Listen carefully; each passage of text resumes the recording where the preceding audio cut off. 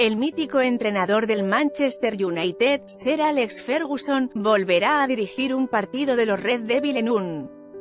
partido a beneficencia de una de las fundaciones del equipo inglés. El partido se hará para conmemorar el triplete que consiguió el conjunto rojo hace 20 años y guiará a un equipo que estaría conformado por leyendas del club, mientras el rival sería el Bayern Múnich, equipo al que le arrebató la Champions de 1999, será el 26 de mayo de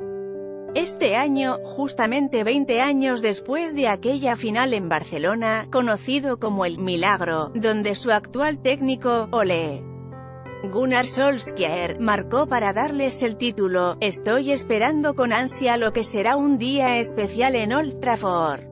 Será genial ponerse al día con algunas caras conocidas y una gran oportunidad para apoyar el trabajo de la Fundación Manchester.